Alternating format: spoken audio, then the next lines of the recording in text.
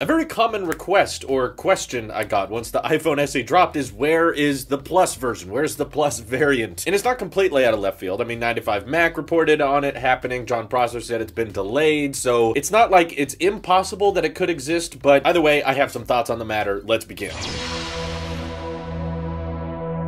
So five iPhones a year, huh? That's not enough for you? You want to push it to six? Well, I guess, you know, a very popular segment, so having diversity for everybody to choose from for all of the different use cases out there, I guess is a fine thing. It may be a little complicated, but hey, a lot of you guys want a 5.5 inch version of the iPhone SE, which is essentially, yes, take the iPhone 8 Plus and do exactly what the iPhone SE got, which was 3 gigs of RAM, A13 chip, you know, update those insides, make it, you know, fresh for the new 2020 lineup. So center that logo on the back, ditch the iPhone label, make it come in three color variants, black bezels on the front, and remove 3D touch, and you can start it at a little bit lower than the 8 Plus started at. But there's a few possible reasons why Apple may have scrapped this project altogether. There's no one reporting that, I'm just saying it's possible. Or a reason why maybe Apple just wasn't planning on doing this in the first place, which is iPhone launch timing is kind of important for Apple. And what they've done in previous years is launch iPhones six to seven months after the flag flagship iPhones were launched. So that's when they launched the initial SE. It's when they launched the current SE. You know, it's kind of midway between the big refresh coming in September. And in previous years, they'd even release like limited edition product red versions of iPhones, like halfway in between, because Apple usually releases a couple of iPhones at the same time each year. You get a lot of sales at first, and then it slows down over time. So if you release a new iPhone, even if it's not a big one, in the middle of that, you know, annual refresh, you get to peak your numbers a little bit again before, you know, the lowest part of the year, which is right before the new iPhones come out. So, but the fact that they released it in mid-April is kind of nearing the end of that like halfway mark. So if they're not releasing it now, I don't think it's very likely they would want to release it in the summertime or just a few months before the iPhone 12 drops because then a lot of people can get confused about, wait, is this a new iPhone or is this just a middle step between the next new iPhone? Because Apple likes to keep this stuff very secret. So the halfway mark between iPhone refreshes is a good time to drop your little, you know, mid-range iPhones, but you typically don't want to do that just a couple of months before the iPhone 12 comes out. So that's why I would say Apple's probably just going to be fine with the regular SE because a lot of Apple's logic for keeping around the iPhone 8 Plus was like, well, if you like the home button and you like the traditional iPhone design, but you want portrait mode, you can just go ahead with the 8 Plus. But the difference is now, of course, the new iPhone SE has portrait mode on both the front and the back cameras. So that's no longer an exclusive feature the 8 Plus has. The 8 Plus only had like a telephoto lens that was like the one advantage it would probably have over the SE, alongside, yes, being bigger and having a 1080p display. So, yeah, some of you are probably in the camp of, I want 1080p on my phone, and I want the home button, and I want the traditional design, but just give me those up-to-date specs, you know, just give me the A13 chip, and honestly, while I don't think it'll happen, I think it would be a really awesome phone, because one of the reasons we found out the iPhone SE does not have night mode, despite having the A13 chip, is that night mode requires dual focus pixels, which is primarily achieved by having an ultra wide camera and a standard camera that kind of both take pictures simultaneously. And that helps a lot with low light performance. And because the iPhone SE only had one camera on the back, it doesn't really get that dual focus technology. So if they were to refresh the 8 Plus one last time, one last home button iPhone and give it an ultra wide camera on the back instead of a telephoto, and then bring night mode to the iPhone SE Plus or whatever they decide to call it, that would be a pretty compelling option. I mean, for 500 bucks, okay, you lose 3D touch, but you get the A13 chip, 1080p display, which a lot of people complain about these days, but the updated camera, so you'd be getting similar camera performance from the iPhone 11 because this is still powered by the A13 chip. Update that for 2020? Yeah, I think that would sell pretty well. In fact, it would probably make a lot of people feel like they shouldn't get the iPhone SE that just dropped because for only 100 bucks more, you get all these extra features that are included with the Plus model, including, you know, a larger battery, which is probably one of the weakest points of the iPhone SE is that battery life is rumored to not be so great, but battery life was very decent on the iPhone 8 Plus, and there's no 3D touch. A13 chip is more power efficient. Like, let me be clear, I want this to happen. An iPhone SE Plus would be a really, really compelling phone for a lot of people, especially if Apple is advertising the new SE to people who bought the 7 Plus and the 8 Plus. Apple's like, hey, you should come to this new phone, but some of those older people would prefer to keep the form factor they have now. They like those Plus iPhones. It's not just about the camera performance, it's also about the display size and the resolution. You know, it's easier to read stuff on there. The keyboard is a lot wider and easier easier to type on for some, not all. So why not provide that option? I mean, I don't know. It could just come down to complexities in manufacturing. You know, they already are recycling the old iPhone 8 assembly lines. Maybe Apple believes that since the new SE has portrait mode, there's not a huge logistical reason to keep around the Plus model. But personally, because they didn't drop it in mid-April, and it's more than likely not going to be dropping in the next couple months, that's why I think that there could have been one internally. There could be a prototype or something that other leakers and analysts are hearing about, but that does not guarantee that the product is actually happening. So yeah, welcome back to Tailosive Tech, and this is where I crush everyone's dreams. iPhone SE Plus, yep, they would probably have amazing specs. They could put some amazing technology in it, and for people who don't care about the bezel-less trend and Face ID, this would be a huge, very appreciated option that people could buy and use for a long time, but because Apple wants to probably keep the iPhone lineup a little bit more simple, and it's already getting really complicated, and they want to convince people that, you know, Face ID is the future, you know, they're not going back on Touch ID, they're just kind of recycling that old design for those people who want it, but they're not going too crazy with it, you know? You can come up with endless concepts of your head for just different use cases for people. Like, you could make the argument of, well, some people want a really nice display, but they don't care about the camera at all, so why not make a version of the iPhone 12 Pro Max with a 6.7 inch OLED display, but like one camera on the back that's really, really bad, and that helps bring the price down. It's like, sure, that would probably cater to some people. Some people may like that, but that doesn't mean Apple's gonna make a model for each individual use case. They kind of have to eventually just pick one and hope that's the best case scenario for the most amount of people. But what do you guys think? Am I wrong? Is the iPhone SE Plus actually happening? Let me know on Twitter. Join my Discord. We can chat more about it there. This is your Apple Sheep here, and I apologize for ordering the white iPhone SE. I know I'm not as big as a hero as those people who ordered product red. They're changing the world, and I'll see you in the next one.